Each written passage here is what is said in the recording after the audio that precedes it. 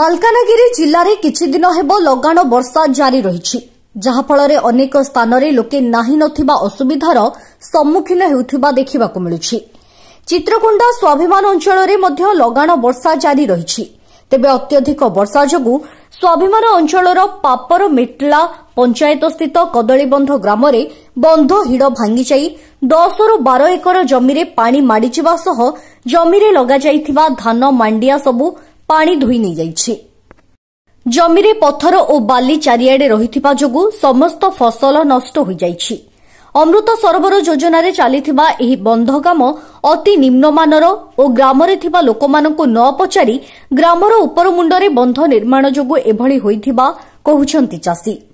ବର୍ତ୍ତମାନ ଚାଷୀ ଓ ଗ୍ରାମବାସୀମାନେ କ୍ଷତିପୂରଣ ଦାବି କରିବା ସହ କାହା ସ୍ୱାର୍ଥ ପାଇଁ ଗ୍ରାମର ଉପରମୁଣ୍ଡରେ ବନ୍ଧ ନିର୍ମାଣ ହେଉଥିଲା ବୋଲି ପ୍ରଶ୍ନ କରିବା ସହ ତଦନ୍ତ କରିବାକୁ ଦାବି କରିଛନ୍ତି।